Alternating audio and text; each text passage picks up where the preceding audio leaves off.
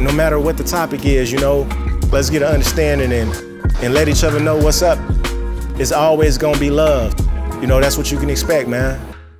So what's up, y'all? This is Big Bro Ty, aka Ty Chi, and today we are talking about abortions. I do not approve of abortions. I don't want anybody that get pregnant by me to have an abortion because I feel like it's bad. You feel me? I don't want a baby to die because I'm not ready. But I will say, you know, it's different circumstances for different people. And I feel like if you are a victim of rape or if you are a victim of incest or, you know, something that is just abnormal, it's not up to me, it's not up to the local uh, politicians or the federal politicians, but I feel like it's up to that person. Everybody has like a different situation that they're going through, and I think you have to decide what to do accordingly. I do think that, you know, it should be up to the, the mother and the father. And I believe just like at your own time, you gotta come to God. I feel like at your own time, you gotta decide like what choices you're gonna make in life. And if abortion is a, a choice that you're gonna make, you know what I mean? I feel like that shouldn't be somebody outside of the family's decision. I feel like that should be the person who has to do it.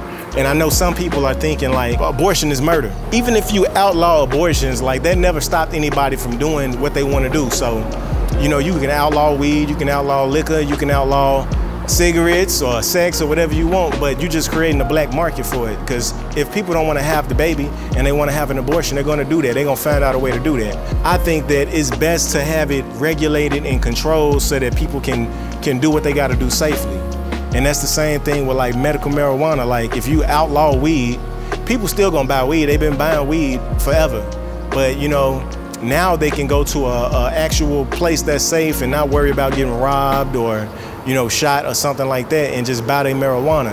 And it's getting tax galore, so it's helping out the community. So you got to think about these things like, are you really helping or are you really hurting or creating a black market?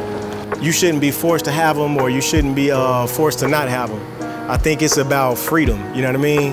And you want to hold on to the freedom that you have. You don't want to start regulating what people can and can't do with their body because now you're treading dangerous waters and next thing you know is, is you're going to have to do a whole lot of other stuff that you don't want to do. You know, when people don't believe in abortions, they, they say that those people are pro-life, but them same pro-life people don't have a problem with, you know, executing people so I think that execution is, is murder just like abortions to me. You can't just be lukewarm with it. Like if you pro-life, be pro-life. That means like instead of giving people the death penalty, put them in, in jail for life. They already separated from society. So why are you premeditatedly murdering people? You know what I mean? And then you making a show out of it because y'all get to sit there and watch the person die. He's executed in a very specific way. That's premeditation.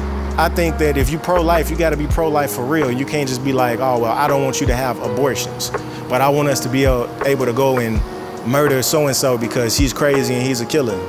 You know, if he's separated from society, you know, put him in jail for life. And that should solve all the problems. And maybe if those people were still in jail, criminals or people that's getting locked up would not want to just continuously go to prison because they'll have to be doing time with hardened criminals. And that would make jail a very terrible place to be if those people were still alive and serving serving time or doing life. So um, yeah, man, I just say if you pro-life, be pro-life for real, for real. And um, that's all I got for this video, man. Let me know what y'all think. Um, I don't know everything. I'm just, you know, starting the conversation for real. So, you know, if y'all got some comments, you know, I definitely want to hear what you got to say, man. Other than that, man, thank y'all for watching. Much love for y'all watching. Um, you know, I, I, my subscribers are going up. I ain't got a whole lot, whole lot, but I do appreciate the ones that have been chiming in. Um, and yeah, man, please like the videos, you know, check out my music. It's on this page as well.